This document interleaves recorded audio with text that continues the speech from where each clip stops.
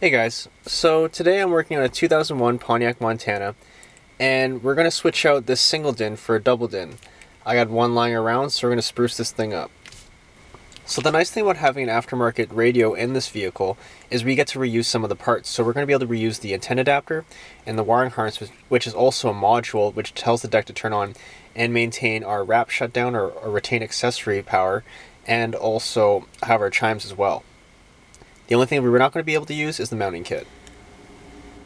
So to do this job, we're going to need the wiring harness, so we're going to reuse the old one. The antenna adapter is still in the van, so we're just going to leave it there. And we need a new mounting kit as well, because this one cannot accommodate the double din. It's only meant for a single din. It's got a pocket here, so this one's got the proper opening big enough to accommodate the screen. Tools you're going to need, you need a knife, mainly you're going to need wire strippers, set of cutters, shrink tube, solder, and a good quality soldering iron. So since we're dealing with used parts, the first thing I'm going to do is I'm going to prep the old harness. Now I did this deck install about five years ago. So well, I see things have changed a lot. I've definitely streamlined my installs up till now. So I taped this all up. You can still do that, whatever. Um, this is the biggest culprit here. Is the big bottleneck right here, which just doesn't look that pretty. Um, I use butt connectors here. There's nothing wrong with butt connectors. I did, I do have a video of a deck install, install how to use butt connectors. It's just, it's easy for a lot of people. Um, but now I like to use solder and shrink wrap, and that's how I'm going to do this install today. But there's nothing wrong with them. It just doesn't look as nice. So we're going to free this all up. I know I used a lot of tape, but that's okay.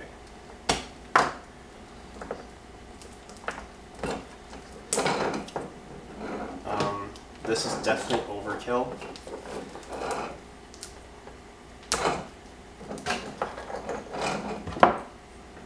So we got our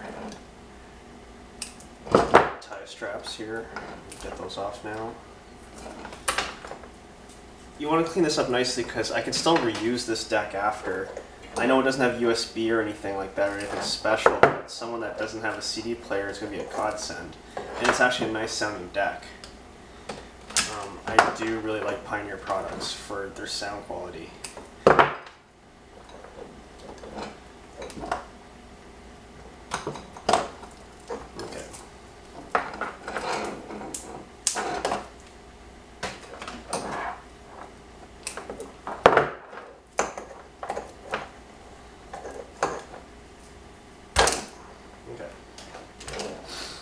So since we're not going to be using this side, let's just cut it off here and make this quick. So we're not going to use that.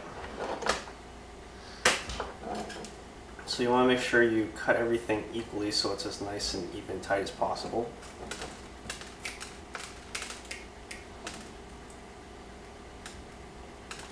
Clean up your mess as you go along.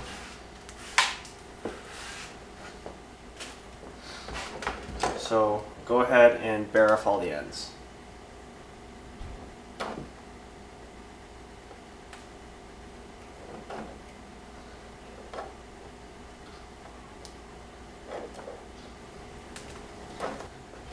So we're done bearing off all the wires. The next thing you want to do is after you've bared them off, I like to twist the wires together to make them more manageable and a little more stiff.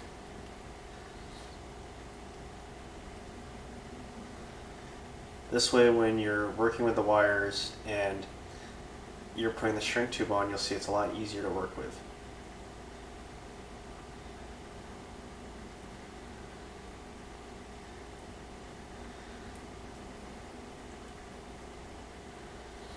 Sometimes on the shrink tube I like to start on the harness side, but today I'm going to do it on the deck harness side.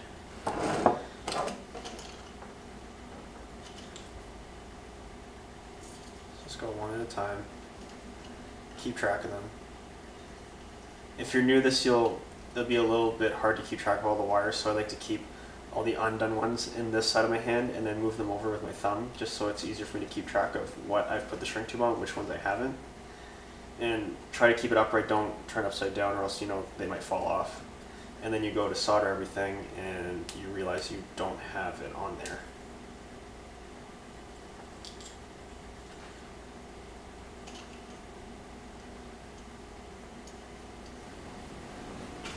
Okay, next you want to get your soldering iron all nice and hot and ready. And we are going to now start putting the harnesses together. So we're going to start with, I like to start with the primary wires that make the actual deck turn on, followed by function wires, and then followed by audio. So we're going to start with power, or constant power. Twist as tightly as you can. And that way you don't have any burrs sticking out, and you make a nice solid connection. Because the last thing you want to do is you want to make the solder, because when you actually solder this, this part's going to get really stiff, even one wire sticking out, you put the shrink tube over it, you heat it up, and then that burr sticking out, and then it's a, it's a possibility for a short.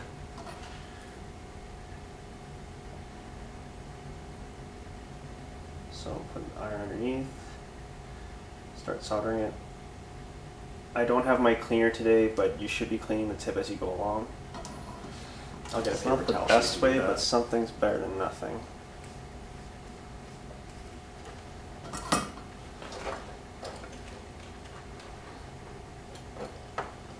Next we're going to do accessory or switch power.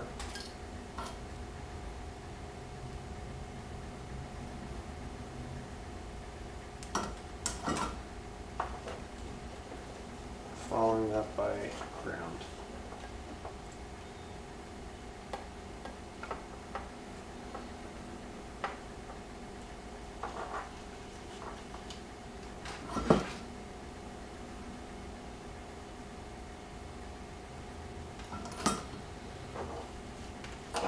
Now I do have a soldering video to show you how to solder, but what you want to make sure is you get enough heat on there and you actually see that solder sink in so you can actually see the individual strands.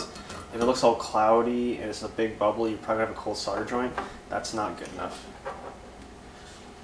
Next, we're going to do our illumination wire. Now, we have two wires to pick from.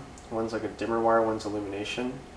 So typically what you want to do is you want to pick, best practice is to pick the one that matches. Sometimes you have to switch it up if it doesn't function properly, but rule of thumb is if you pick the one that matches, you're usually, that's a safe bet. So that's what we're going to do. So this one's got orange and white, this one's orange and white, we're going to pick those two.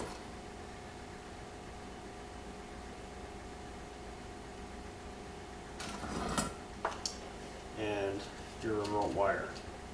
Now the remote wire, this just has a 12 volt output when the deck's on.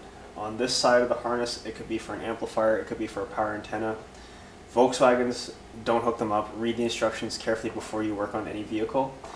In this case, we're just doing it for the sake of practice. Don't have to hook it up. This van does not have Bose or anything like that. This wire doesn't do anything, but we're just going to hook it up anyways. Because it makes me feel better.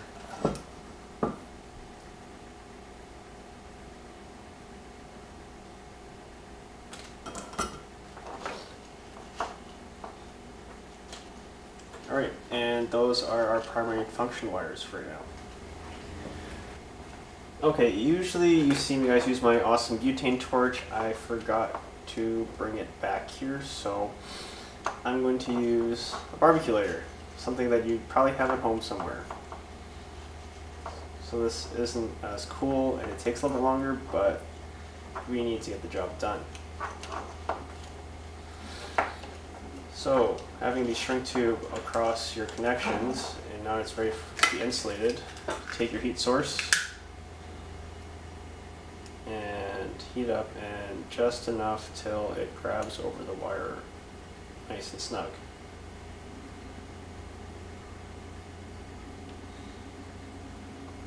I like to do this in stages just to keep it a little more organized. So do your function wires first, then do your audio wires afterwards. And then once it's cooled down, lightly inspect with your finger, make sure that there's no burr sticking out. If you prick yourself, you'll have to go over it with tape. But we're good. So for connections that you're not going to use, like this instance, uh, we are not going to use the reverse input. And the pink wire, I'm going to try not using the, uh, the vehicle speed sense. I've done installs with and without it. Uh, on some applications, it is more accurate for sure to use the vehicle speed sense, and I've done a lot where it's worked fine if you think about it, all those portable GPSs in your cell phone, they don't hook up to your vehicle speed sense. So we're not going to do in this situation. So when you're turning an end, if it fits in the shrink tube, I like to fold it back. Put your shrink tube over it, and then apply your heat.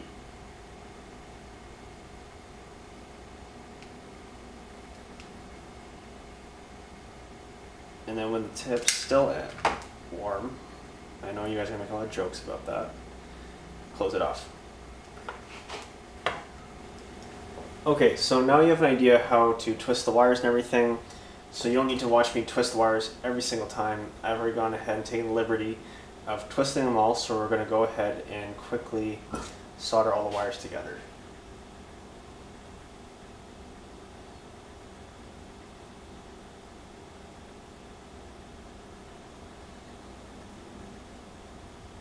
Take your time and make sure you get a decent amount of heat on there.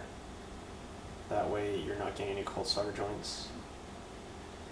Preferably have the iron underneath the two wires that you're soldering. That way gravity can pull the solder through the wires.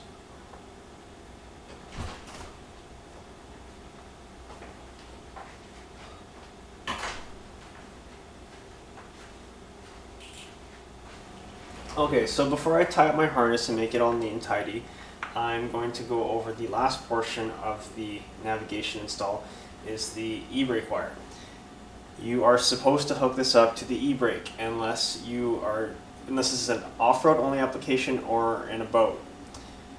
It's a good thing that the Montana is strictly only an off-road vehicle which is also amphibious. So I can put this in. That's a TR7. So now, a lot of you are probably wondering, why am I doing it with a TR7? Because we've all watched the videos on the F900s or a lot of the Pioneer navigation units on you just move the wire over and then it just works. It does on the newer ones. On the F series though, they have this weird glitch and it happens after about six months. All you guys that have the F series 900s or whatever, you know what I'm talking about. After six months, you'll get in your vehicle, you'll turn it on, and then it just reboots. You'll get your splash screen and it'll just reboot. And that's it. You can go into test mode and then you can get it working, but then you're just pissed off with the thing. So after going on Google a bunch of times, I realized a lot of people are saying that it's because of the bypass, after a certain amount of months, it just locks up. And it's actually pretty consistent if you look hard enough on the forums. So I decided to do is I decided to use a TR7 to give me the signals I need, but the TR7 will reset it every single time, and this should fix the problem. I haven't tested it. Message me in six months and ask me how it's doing. So, to finalize, uh, you'll also notice that I left these two wires bare. It's because we have a steering wheel control module back in the van, so I got to hook that back up. And I didn't want to take it out of the van because it's wired up to the other side of the harness. So we'll just go back in the van, solder that on, tape it all up. So take your wire ties. I only use four on average. You don't really need any more than four. Two on one end, two on the other.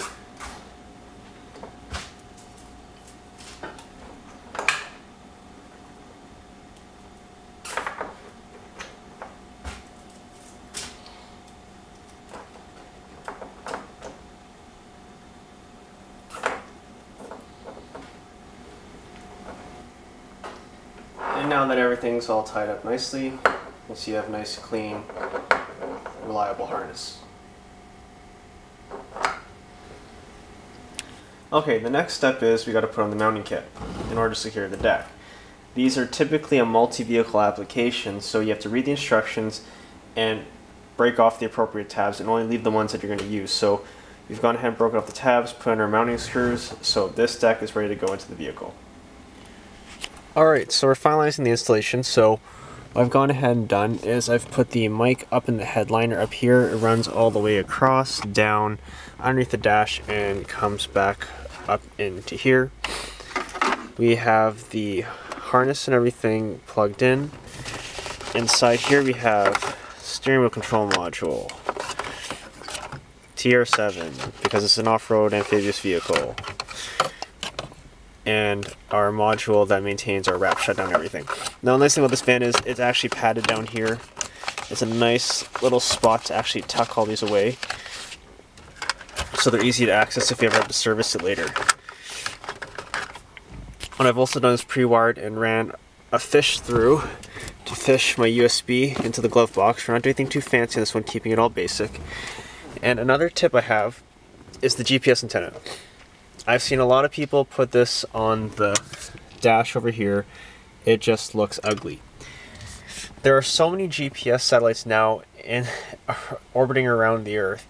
You can put these things inside the dash. There's actually enough clearance for me to get the deck in with this sitting on top, so I'm just going to place it right there.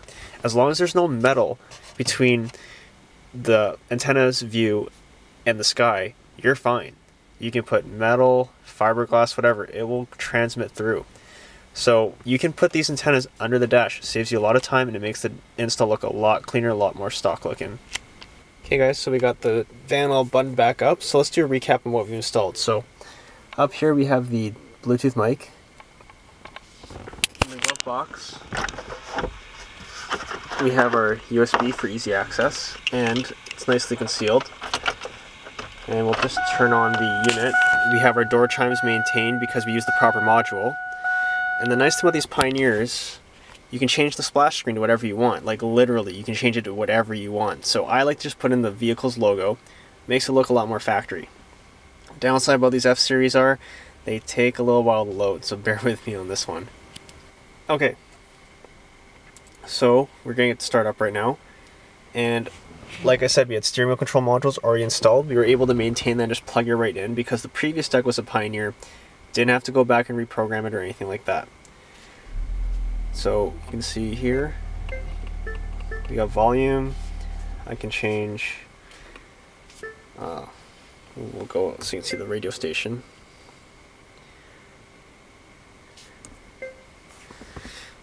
So change channel. See the attention show up and pushing mute. Um, every vehicle is different, so depending on what steering wheel controls you have and the ability to program them into the actual steering wheel control unit plus the deck itself, it all varies. But that is in a nutshell a double DIN navigation install.